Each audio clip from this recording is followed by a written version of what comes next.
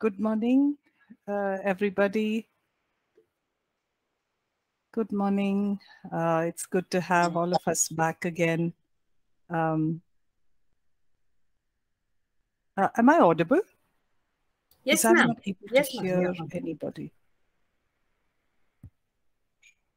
Uh, once again, Yes, ma'am. You're yeah okay okay yeah okay okay i can hear you too. All right so good morning uh, everyone and uh, it's good to be here. Good to see all of you um, well and early in class. Uh, all a warm welcome to the learning students as well as we um, move into week 13 of our course. We're almost uh, uh, trudging to the end. We just have another couple of weeks to finish the course. Um, and uh, uh, yeah so so we've been we've been uh, looking at mm, a lot of you know uh, things that help us with our emotional wholeness. And uh, we had started on with a new chapter last week uh, on to how do we stay emotionally whole. And uh, to back up a bit we had spoken about how we can we can uh, deal with the conquests that uh, with the with the issues that happen in our mind and how we we see that the mind is a battlefield and how we can conquer that through through the word through the spirit. And uh, from last week we started a fresh uh, uh, topic on how do we crucify the flesh um, and one of the ways of of uh, staying into emotional wholeness. We looked at how we can uh, crucify the flesh. So we did explain last week as to what we meant by flesh. We also looked at certain scriptures that talks about how our fleshly um, desires and our fleshly lusts um, leads us to uh, leads uh, um, leads uh, an issue with with our souls. It damages our souls. It harms our souls we looked at what are some of the fruits of the flesh. We had a specific list that we bought out that we bought about from the verse that was given as well as from uh, from scripture in itself. We looked at how um, when there are wrong seeds uh, and roots that are so wrong seeds that are sown into our lives, um, then that takes root and we bear the similar fruit, uh, you know, fleshly passions and fleshly desires. Um, we also looked at uh, uh, how it is important thus to be able to lay the axe to these roots, to these selfish desires. We looked uh, initially at uh, two um, uh, specific selfish desires or selfish passions of uh, the, the self and uh, jealousy. And today we're going to be looking at the next two, as well as how we're going to get rid of these uh, fruits or these work of the flesh and and what do we do to to keep ourselves emotionally whole by crucifying the flesh so first of all we identified what are these fleshly lusts we're looking a little bit more into detail with specific four things that generally we all may be dealing with and how do we um, walk in freedom uh, in getting rid of these works or these fruit of the flesh is what we will be covering today. Okay? Um, so we're going to move in. Uh, I, I spared the uh, misery of asking all of you what is it that we've done? I've done that for you. So please remain awake stay awake um, keep engaged um, with questions, uh, relate things that we are we are going to be speaking about. Okay, so the the two things that we spoke about uh, was uh, was self and jealousy, laying the axe to the root of those. Uh, today we're going to be specifically looking at laying the axe to the root to pride and to lust. Okay. Um, now this the the the fact of pride is something that uh, um, you know it may not may not be manifested as easily but uh, just to bring about initially let's just look at what do we mean by pride? What can what is it what what if we were to look at a definition of it what would we say pride is? Um, pride can be easily defined as someone who is uh, someone with a nature of uh, arrogance um, uh, high importance to oneself uh, the ability to continuously boast or to be able to exalt or glorify or uh, being in a place of uh, saying high things, big things about oneself. Uh, it is also a feeling that one is superior and um, uh, higher up than than the others okay so the feeling of just being arrogant that you you know a lot of things that you can't be corrected uh, uh, uh, an inappropriate way of looking at one's abilities or one's um, uh, skills or uh, who they are. So just being just being in a place of giving a lot more importance than what is due, and also boasting about that uh, that fact is what we can largely look at pride. Um, now it is very when you look at the world system it's something that's considered as probably normal for one to think of highly of themselves and um, they are exalted if they are thought highly of themselves in fact you know in different places you will especially um, eh, you know when I, I, remember working in the corporate of, of, of field for some time and this was something that i used to be you know people used to keep telling me you've got to make yourself visible. You know your visibility should be high. And even if you don't do things um, you know if, if you're able to blow it up out of proportion and uh, you know flower it up and give it a lot of names that itself is good. I remember also one of my professors telling me mm, you know to to take on uh, a PhD, she said, uh, you know, at least take it for the sake of it, for the name of it. And uh, you will find that because you have the name attached to it, uh, you will find a lot of jobs, a lot of opportunities. But so, like I said, so the world system keeps it very, very normal. Uh, uh, but if we are not careful, we can quickly get entrenched into this the same pattern uh, of thought of thinking and and how we may perceive uh, perceive this. Mm, the scripture talks about this and what is in the world and we see that in first john 2.16 it talks about three things that are in the world. It's the lust of the flesh lust of the eyes and the pride of life. It says that is not of the father but it is of the of the world. So these are things that you will find uh, in the world. Um, and it, it is in every part of our uh, of the system that that we are in. So what does pride do? It makes us feel that we are able to accomplish everything on our own abilities, uh, on our own uh, on our own skill or dependence or things that we have. So if we aren't um, careful enough, it it it gets into our beliefs and it gets into our understanding. And um, the, the fact is that, you know, when you look at the other two that scripture talks about, that is the pride, uh, the lust of the eyes and the lust of the flesh, um, you you can be very cautious about about these things. You know, like lust of the lust of the flesh, for example. Um, uh, you know, uh, uh, uh wrong motives in relationships. You know, maybe ad adultery, or even the lust of the eyes when you're looking at things uh, that that you know that are that are wrong. These these are you can you can be sometimes very cautious about it, but pride can be a very very subtle uh, attitude that can that can move into our lives and uh, make us look acceptable okay? But scripture does talk about how the lord hates uh, or pride is an abomination to god and something that um, um, that god does not uh, like and god does not uh, does not want in his children. Why? Because pride is something that keeps us away from from our relationship with God. And that in itself is a difficult place to be because, um, uh, you know, God, He says it's an abomination. So it's not some place that we can even come close to.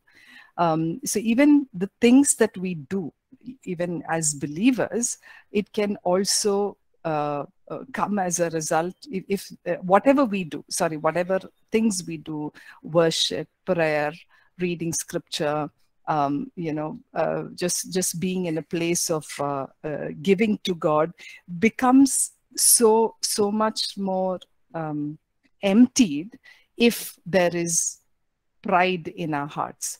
So it, all of this needs to be done with a desire to um, to to build our relationship with God, but uh, and and not because and not as a motive of pride. Because if there is pride, it says you know God resists the proud but gives grace to the humble. We see that in James four, um, that He gives grace to the humble.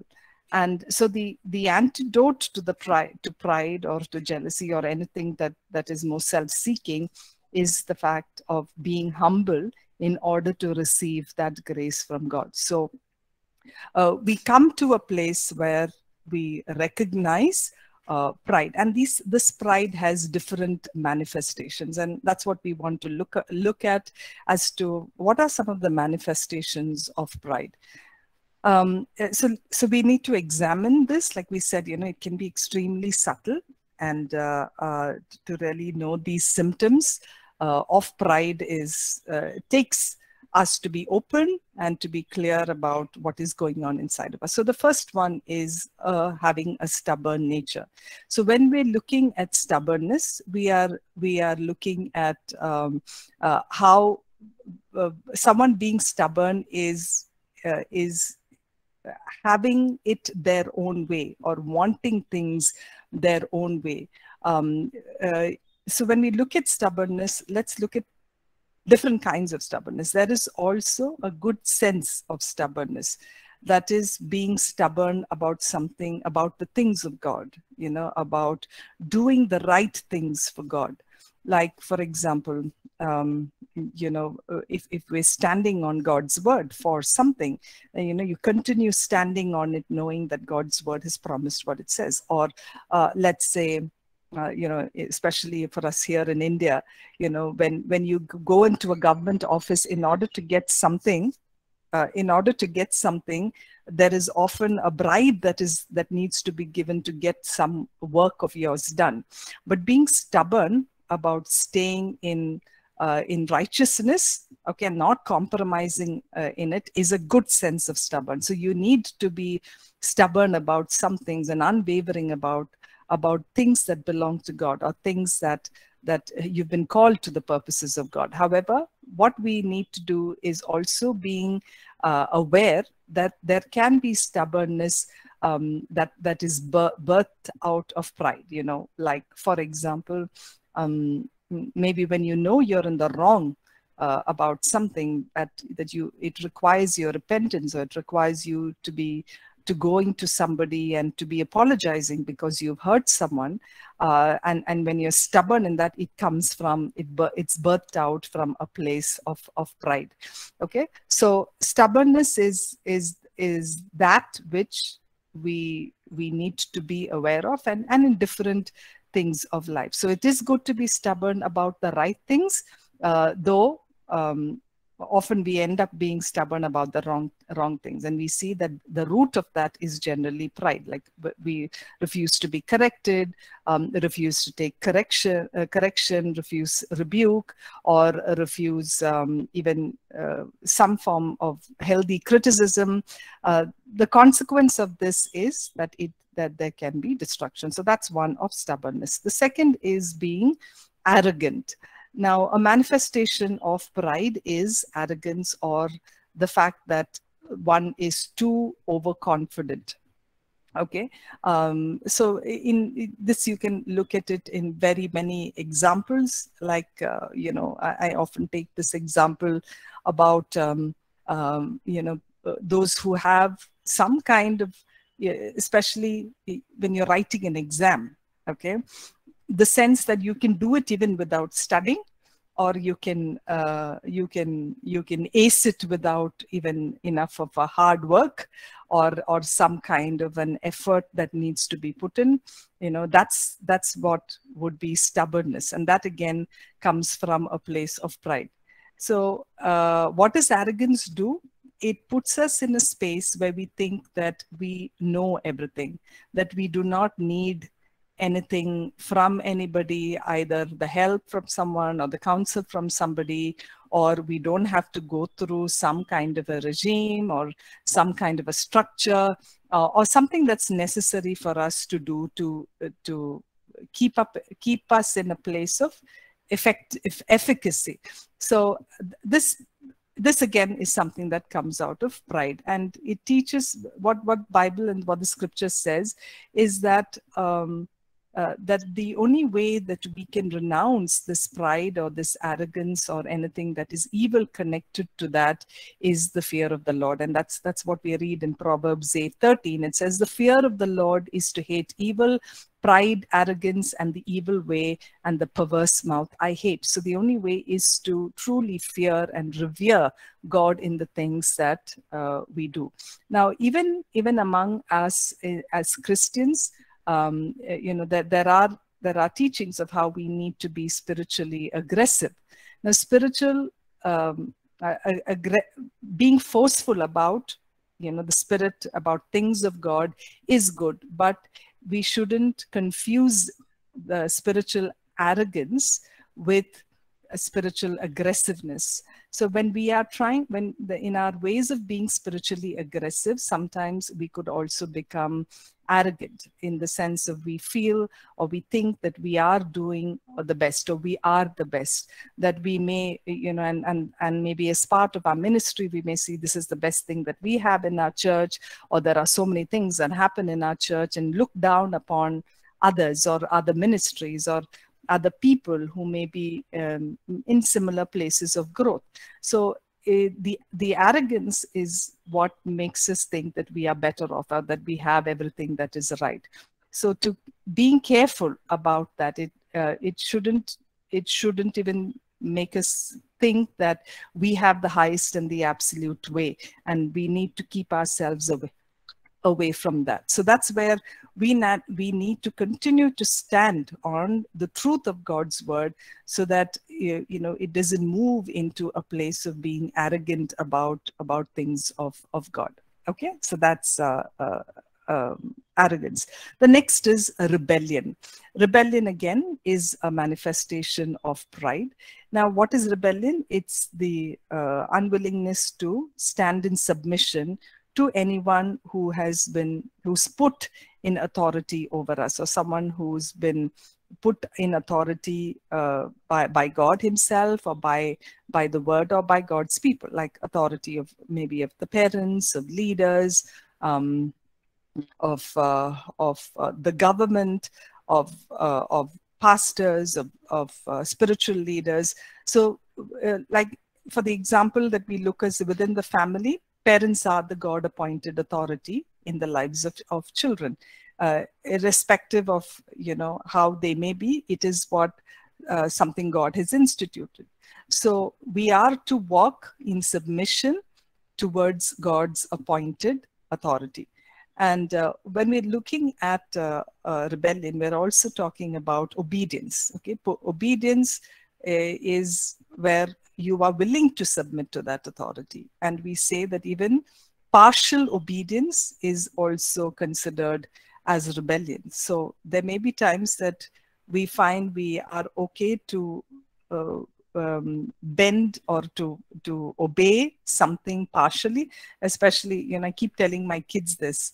You know, delayed uh, obedience is also disobedience. You know, you tell your child something and then you may have to tell him 10 times and then after the 12th time uh, you know it's so, so you you remind them that even delayed obedience is disobedience.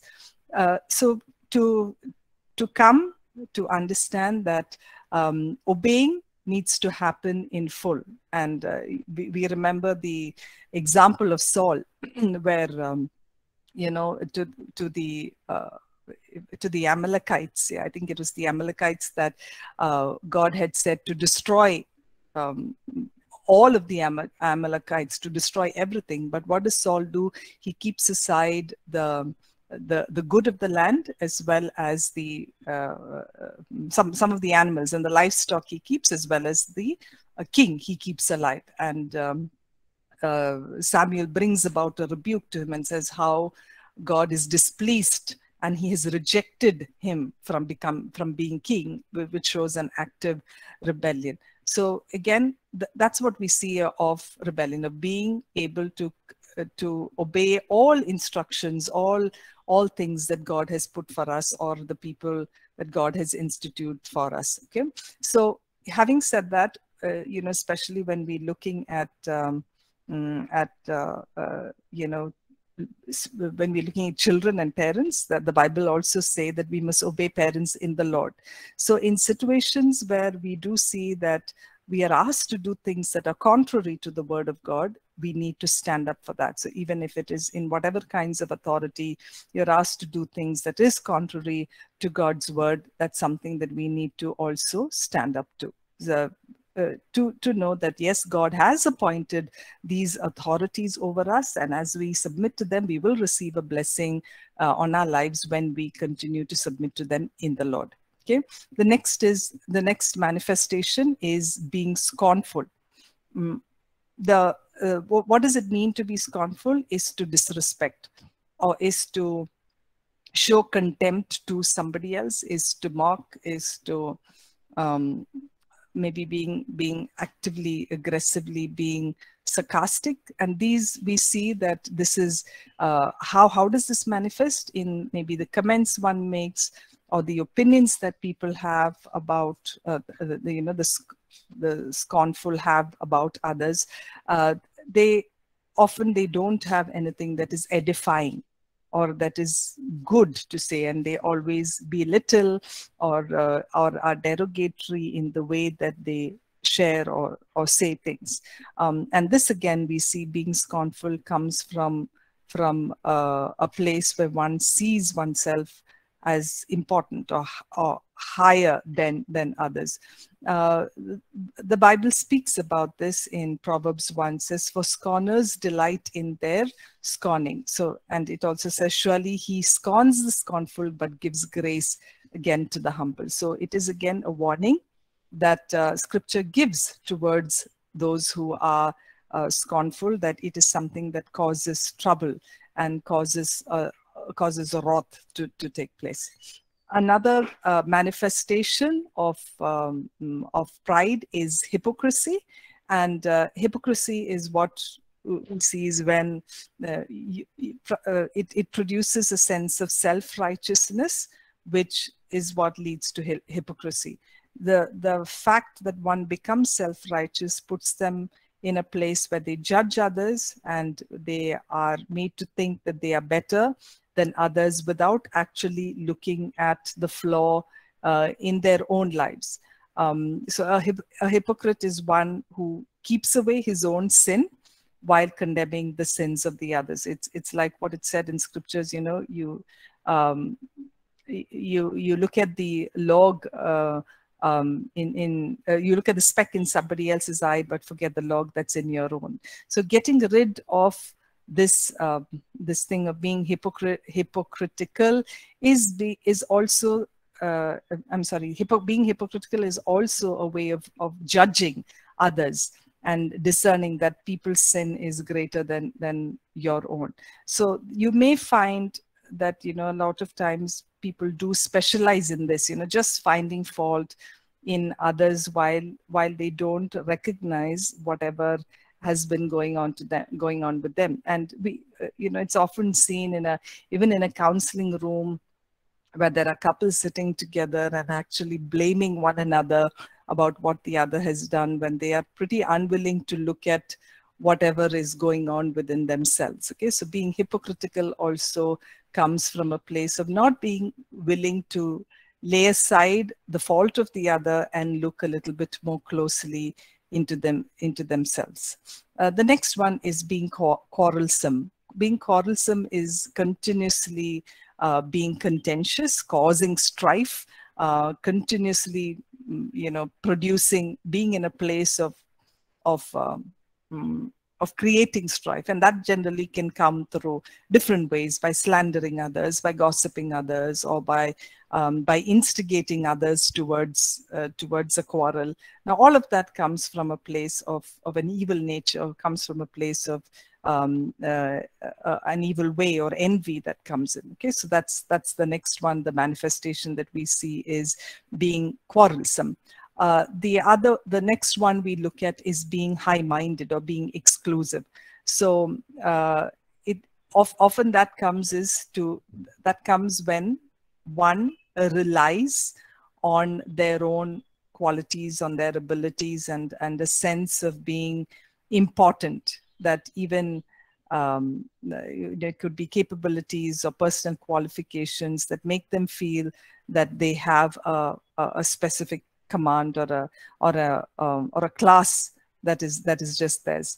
But Scripture tells us to set our minds on things above and uh, to be to learn to learn to associate with people of all kinds so being connecting being able to connect with everyone um, and not just feeling wise because of some things that that rule our lives so that's the uh, the manifestation of pride is being high minded just feeling as if one is exclusive to the rest of the world outside um, what happens when one is steeped in pride is it results in definite fall and destruction. You know, Proverbs says that pride goes before destruction and a haughty spirit before a fall. So that is something that uh, uh, that is seen that whenever there is pride, um, it, whenever whenever it is within us, it defies it defiles the man, and it can lead to destruction and it can lead to to great fall.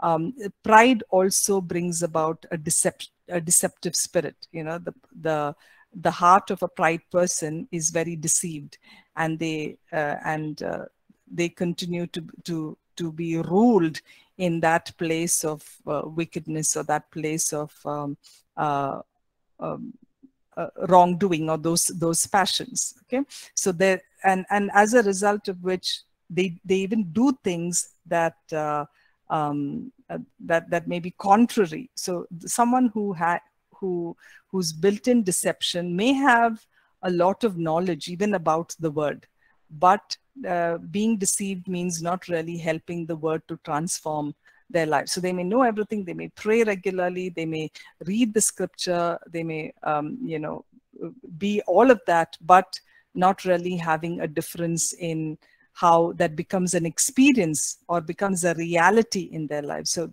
just having that knowledge is not sufficient. It, it is something that needs to be experienced in that. And that's what we would say um, when you when there is self-deception that takes place. Um, pride also brings condemnation. The concept we see as a result of pride is that it brings um, the judgment and condemnation from God. You know, Paul brings that up, um, uh, tells Timothy, uh, you know, it says in First Timothy 3 6, um, uh, you know, pride, but without, with pride, someone would fall and the same and they would have the same condemnation as as satan as devil. So it brings the same judgment and condemnation um, that, that has come upon satan when when he rebelled and when he condemned and was sent out of the presence of god. Okay? So um, so th these are some of the things that we see does come about from uh, a heart of pride and to being careful of that okay? Um, now before we move into the next uh, part of lust uh, i just want to take up any um, any questions okay? I think there's a question here. Can being too religious be treated as pride? Okay so um, I think it, it does matter when you're saying can being too religious. How does your religiosity, since you've used that word, or your spirituality manifest? Um, scripture tells us that all things must be done in love. So uh, whether it is uh, even in correction, uh, eh, or or you know in everything that we do it should be coming from a place of love and coming from a place of meekness and uh, one one of the one of uh, i think in you know in last week's um, message also in james we we spoke about being meek. You know even in scripture it says blessed are the meek for they shall inherit the kingdom of god. In everything that we do we do out of a sense of dependency on god. Even even when it means um, working with people in building their spirituality or building their things of God. That we don't look down on people because they may not be at the same pace that we are in. However, that does not keep us away from building our own uh, um, our our own selves in God. You know, building that maturity is very important. However, when you relate to others, being kind, being gracious in um, in helping someone uh, grow in their spirituality. Yes, you encourage, you challenge, but not in a place that uh, it, it comes off as as something that is offhandish or something that's coming from a place of superiority. But uh, even even the faith that we have, we hold it um, in absolute grace uh, as we deal with other people. Um, Candy, I hope I answered that. Shay, I think you've raised your hand for a question. Yes, Pastor. Um, um, I have a question on lust. Uh, just a clarification, which my opinion was um, you can't lose after your spouse. Am I correct to say that?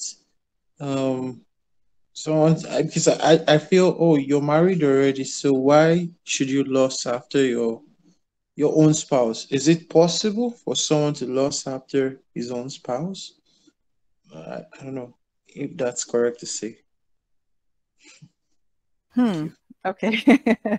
okay. So I think let's let's maybe let's look at the ex the the meaning of lust and then you know take that question from there. It is uh, it is an excessive, uh, uncontrollable desire, uh, a, a need to yearn and to crave and to long for something uh, that that also may not be yours.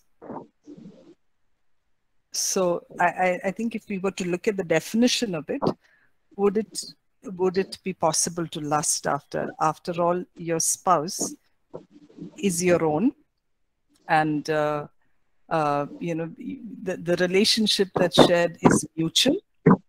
So lust is something that is uncontrollable, that is excessive, and it is that passion and longing to crave for something that isn't yours. yours.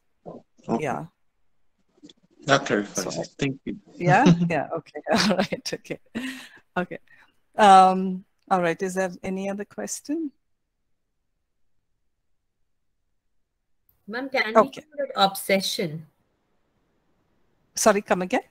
Can we call it obsession, not lust? If it, it's it's your own and you're, you know, feeling that kind of a, you know, uncontrolled desire or something, uh, is it obsession?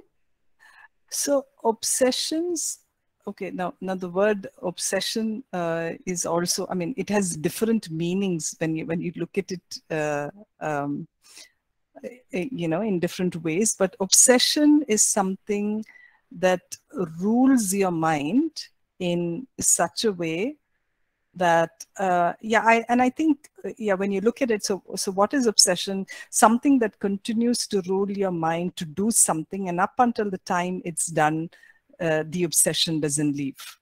Okay? Uh, so it, it is something that that is irrational. It is uncontrollable. It is um, uh, it causes causes deep sense of emotional uh, what do you say attachment to something. So yeah and and i think yeah in in in a great way obsessions also would be mean to lust to want something or to do something that uh, that makes it a craving a, a, severe craving. So i think yes obsession also in in a in a way can be lust now i think even as i'm talking about obsession i still also want to bring about the other side of it is that um, obsession can also be some kind of an obsession can also be uh, a mental health issue, okay? And that is an irrationality and bringing about deep anxiety. Uh, and that, when, when you're looking at obsession, it's something that happens multiple periods of time and it's irrational. Uh, not some, and it takes so much of a hold on you that you're not able to function normally okay so there is that that's why i said there are many meanings to that word in itself so obsession can also tend to be uh, that that move into a mental health state as well. So to be able to decipher that i think it's it's again like a case by case issue and and something that requires a lot more of uh, finding about what the background uh, and all all is okay? Um, so yeah so obsession in in a natural part of the way is uh, is something that that can be as a part of lust also okay. yes, ma'am. because uh, came across something like that in in a marriage where someone uh, you know the the husband is uh, loves the wife but he is not able to share her like with her own family in in the presence of other people. That person feels you know not able to share uh, his wife. He feels insecure. I don't know. I'm not going to use any such words insecure or something but not mm-hmm. comfortable doing that mm-hmm. happy with mm-hmm. his wife everything fine loving his wife but mm. in in the crowds in with even with the family you know there is a change of mm-hmm. behavior and you know feeling like uh, mm-hmm. i i don't want to share you with anyone so uh, is mm. what would you call that kind of a behavior ma'am that's okay so okay so th- so that again can the root of it can be very many. One is it could just be uh, like you said just a sense of possessiveness okay? High sense of insecurity um, a lack of uh, uh, um, personal self-worth that everything seems to be attached to the person. So again we need to look at the roots of this. It can also be paranoia in a paranoid you know someone who's paranoid about about their spouse and that again uh, uh, also has a has a small twist towards um, a mental health condition as well is there paranoia that's there they're they're extremely suspicious doubtful about the whereabouts of their spouse and, and things like that. So uh, where does these things come from? So these are, uh, again, you know, the, the selfish desires that may come about. Uh, we, what we're also looking at is what is the motive of it? What is the motive behind it? What is the intent behind it? So to, to really answer that question, I think to, to have a wiser understanding of what is the background of it.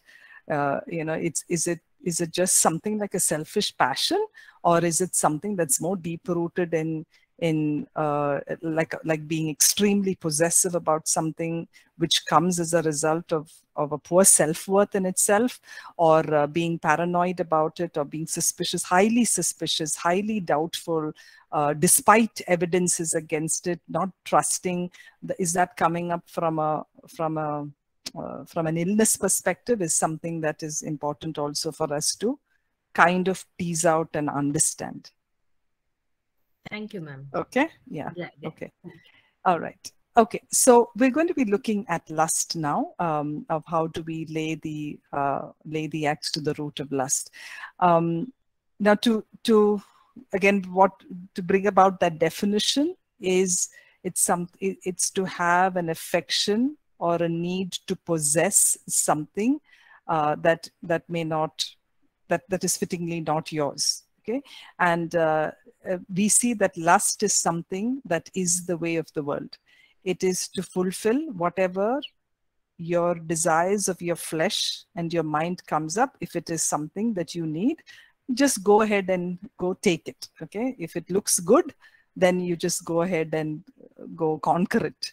Um, and this is something that is that is commonly seen in in the world system. And as as unbelievers when we were also part of an unbelieving uh, you know season we also walked in this to really desire things of the flesh and the mind. And if it is okay like you know and and there are different ways that people explain it that if it doesn't cause anybody harm if it doesn't uh, and and i'm and usually you have this question you know especially people um, who who are under masturbation or pornography. It doesn't do anybody else any harm. So what what's wrong? But then it is it is the motives of the heart the lusting after or over something that you would want to possess uh, which comes in as a wrong motivation is something that we see uh, as sinful also. We see that um, because of lust, we have seen that there is the the very fiber of um, you know the the moral fiber of a community of a of of of a society also seems to be broken down. Because of lusting you know people do get into um, extramarital affairs, premarital relationships, different kinds of sexual experiences, um, sexual addictions, uh, sexual idolatry.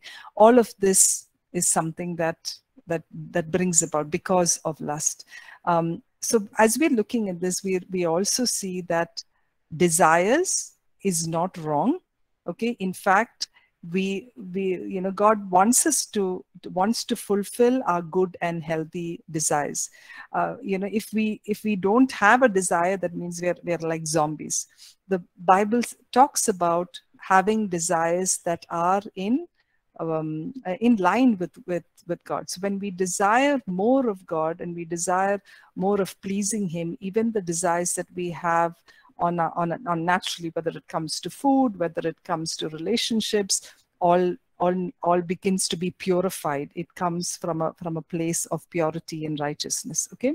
Um, so as scripture talks about in Psalms, it says, delight yourself in the Lord and he will give you the desires of your heart. So the, the more that your relationship with God is right, all the desires that come from after that is something that uh, that that that is birthed out of purity okay? So uh, knowing that we need to have come into a place of having good desires. Now again coming back to this and we we, we did speak about this uh, i think two weeks ago about temptation that we see that uh, um, again we, we brought this verse up in james where we said temptation is um, it comes it generates it's it's when uh, we are drawn by our own desires because of our selfish passions or because of our lusts. Uh, it's it's not the desire of anybody else or the or Satan's desire, but our own desires that are at work in trying to draw us and bring us to a place of sin. And you know, it weakens us, and then we are, are unable to resist it, and we are enticed in that. So temptation occurs when a desire for something wrong is is being birthed inside of us, stirred up within us, and brings us down. It weakens us, and we and uh, weakens uh, us to, to not keep away from it, to not refuse it. So we need to learn to bring these desires unto subjection uh, to God and bring them under control. Now, let's look at some of the lusts of the flesh. or how, how does this, um, what, what are some of the ways that it gets played out? Uh, the lust of the flesh will include things like the desire for uh, for things that satisfy our flesh. So that could be food, that could be substances, anything that we we begin to consume. Okay, uh, and this would also mean in the area of our sexuality, uh, sexuality also. So uh, you know. I, I, and I think it's it, this is such a fine line. We sometimes forget we, we look at people who lust after alcohol or substances or or people but even for food okay having that uncontrollable desire for food. So that that again is something you know we when it takes on the place of god when anything that takes on the place of god it becomes idolatry. So food in itself is something you know we've got to be careful about. Um, let's look at what the manifestations of uh, mm, of of this of lust can be. Is um, uh, like we spoke about, you know, these desires that become compulsive. Um, when when uh, what when is it that it becomes compulsive? Is that uh, when certain habits becomes more than what is desired or what is needed for us. Like, for example, uh, simple things like maybe shopping or um, entertainment or things that uh, uh, that pertain to maybe even sleep. You know, having having too much of it when it when it becomes too much of of what is what is supposed to be supposed to be had when when when you when it is unnecessary it becomes a compulsive habit like for example maybe um, uh, some form of an entertainment. I, I, think a good one is the phone. Uh, where does it become compulsive is the desire to keep looking at it even when there isn't a need to, or having it um, apart from from the actual um, functions of it maybe taking a call or doing your work on it or communicating to somebody but when when it goes into constant browsing constant checking of status constant checking of pictures constant looking into uh, you know, entertainment, that again becomes a very compulsive part of it. And that traps us and holds us as slaves. And, um, you know, it, it begins to be something that holds us in bondage. And unless we admit that, you, you know, you're lusting there, it, it probably, you know, to recognize that it, it, you're lusting there, we are not able to break, or break out of it. The next uh, manifestation that we see is, like we said, this perversion, sexual perversion. Now we see that God designed sexuality as something good and he created it for um, uh, uh, created it as pure and created it for something to be enjoyable within marriage. It was something holy and there's uh, absolutely nothing uh, wrong with the way that it was designed and created by God, but it was given for a specific uh, for, for a specific institution of marriage. But when there are unnatural uh, sexual desires or pleasure that God did not design, that becomes accept, unacceptable before God. And that begins to bound people in that lust of the flesh in the areas of their sexuality. And we see that, um, you know, is uh, it, it's written uh, in scripture of the ungodliness and the unrighteous acts of men, which which which part of it and it talks of how uh, sexual idolatry those those who engage in it will not uh, inherit the kingdom of god unless there is there is repentance in it and so also other forms of sexual perversion any kind of immorality premarital sex that which is outside of marriage, adultery, homosexuality, incest, bestiality. I mean, there, are, there is a whole range of it. All of this is unacceptable before God, and this is uh, sexual perversion. Added into sexual perversion is also fantasizing about sexual experiences, where, you, where one may not be physically committing the act, but um, is within within their own fantasizing about different things. So that becomes the lust of the flesh, and that is again that's uh, unacceptable. So even using things to gain sexual pleasure, even when there isn't a physical experience with the spouse, is also sexual perversion. Or being in bondage to um, habitual masturbation is one more example of sexual perversion. And these are things that may hold one um, in, in this bondage because it, it continues to create strife and confusion within the mind. The other we see is the lust, lust of the eyes. Uh, one, of course, common examples of is pornography. And uh, as believers, also many people do get entrapped into pornography um, because uh, th this material all, almost is available everywhere you know either in a system or you walk out into um, uh, onto the street on a billboard or reading up a newspaper um, you know everything all images that you that you look through look through indicates uh, something that entraps you into pornography. Okay, and that's something, again, guarding ourselves and our hearts against this because all engaging in all of this brings about emotional um, uh, ill health, emotional uh, brokenness, uh, and emotional entrapment. So, so knowing that keeping away from all of this not just uh, keeps you away from from sin in itself, but also these are all things, these fleshly lusts damage the soul. It brings about issues in the soul okay or even filthy thoughts or fantasies filthy thoughts and fantasies are again a part of the lust of the eyes and the flesh. And uh, we are encouraged to think about things set your affection on things above on things that are pure on things that are true things that are noble th things that are clean. That's what we we read in philippians 4 8 there is also the fascination that one may have about looking at um, people who are attractive. Um, and this is something, you know, often,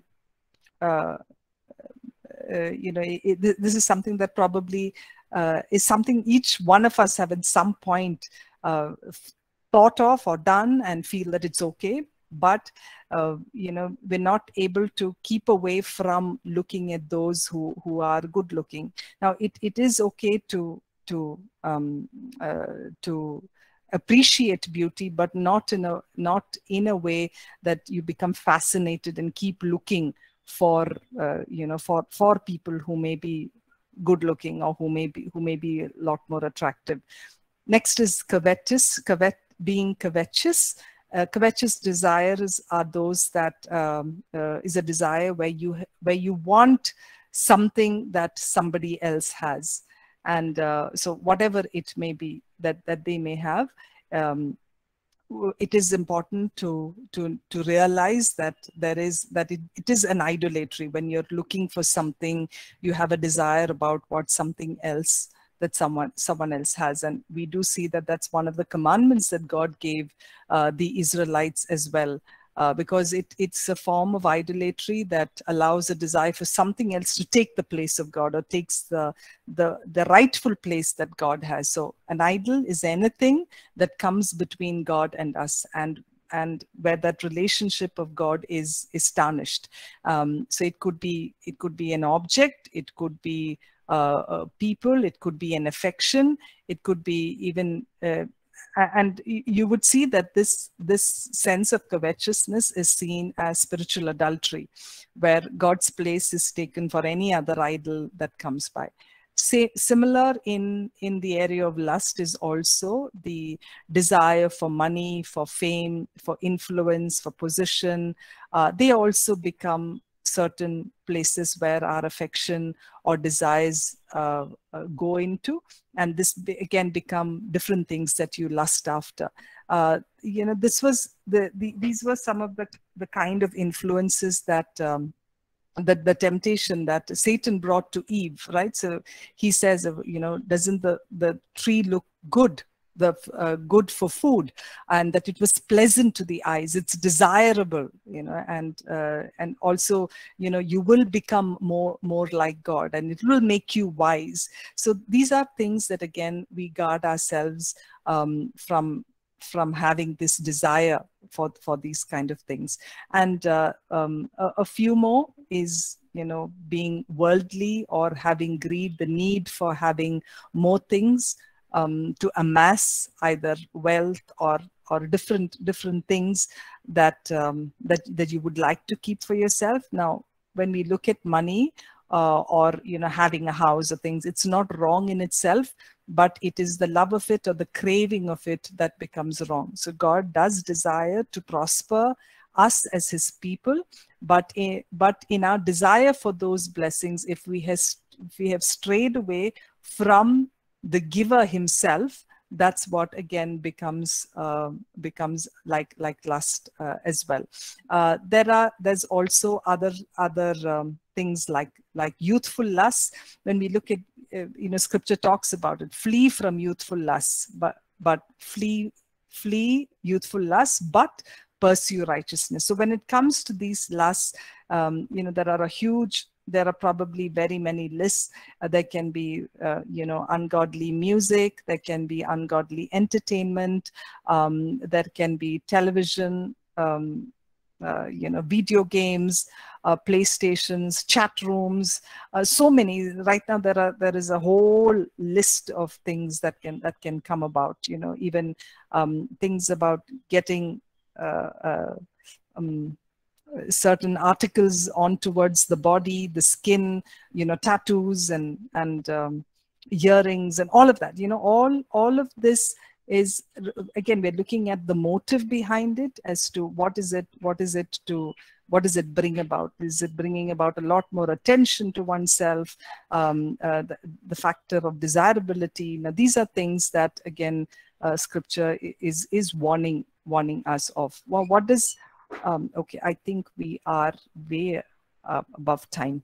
Okay, so let's let's break for uh, for 10 minutes and come back. Um, we will resume at my in my clock. It's 10:54. We will resume in 10 minutes. We'll be back at 11:54.